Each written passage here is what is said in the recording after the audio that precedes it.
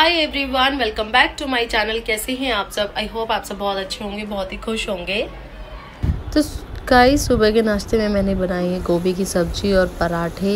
तो सब्ज़ी हमारी बस अभी बनने ही वाली है और साथ में मैं कर रही हूँ दूध गरम और बस जा रही हूँ अभी पराठों के लिए, आटा लगाने के लिए। सारी तैयारी हो चुकी है, ये गए हुए हैं नहाने के लिए और नोनी अभी सोई हुई है।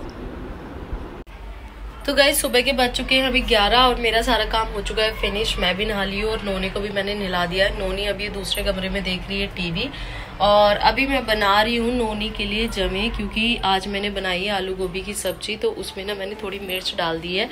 तो मुझे ना ध्यान ही नहीं रहा कि नोनी भी खाएगी और ना नोनी के चक्कर में मतलब मुझे दूसरा खाना बनाना पड़ता है उसके लिए। कई बार ऐसे होता है ना मेरी तबियत ठीक नहीं है ना तो मेरा कुछ तीखा या चटपटा खाने का मन करता है, ना इसी चक्कर में फिर मैं मिर्च डाल देती हूँ सब्ज़ी में। आज सुबह ना मैं छः बजे उठ गई थी छः बजे उठने के बाद ना फिर मैंने फटाफट अपना सारा काम निपटाया। इसलिए आज मेरा ना ग्यारह बजे तक सारा काम हो गया, मैं नहा वहा भी ली और नोनी को भी मैंने नला दिया है। क्योंकि जब मैं लेट हो जाती हूँ ना तो मेरा काम भी लेट उठती हूँ तो लेट ही काम होता है। फिर इसलिए ना आज मैं जल्दी उठ गई और मेरा फटाफट से मैंने सारा काम फिनिश कर लिया अपना। बस अभी नोनी को खाना खिलाऊँगी और ये भी आज जल्दी उठ गई थी। तो इस चक्कर में ना और नोनी को ना आज मैंने बनाई है फ्रॉक, मैं आप लोगों को दिखाती हूँ कैसी लग रही है। वैसे उसको ना फ्रॉक अच्छी नहीं लगती, ज़बरदस्ती पहनी हुई है उसने। ये देखो फ्रॉक में कैसी लग रही है।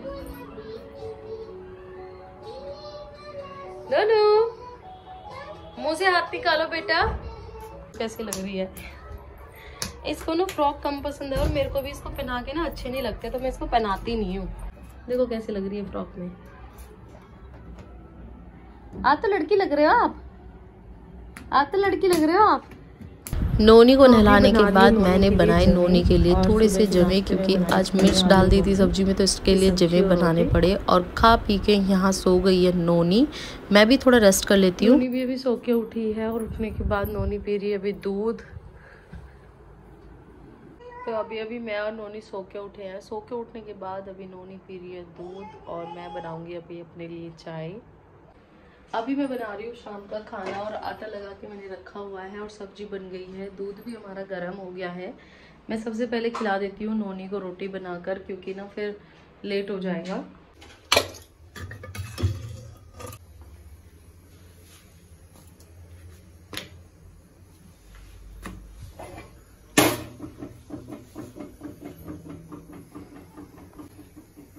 सो so गाइज़ आप लोगों को मेरा ब्लॉग कैसा लगता है? मेरे चैनल को ज़्यादा से ज़्यादा सब्सक्राइब करें लाइक करें कमेंट करें। Okay bye bye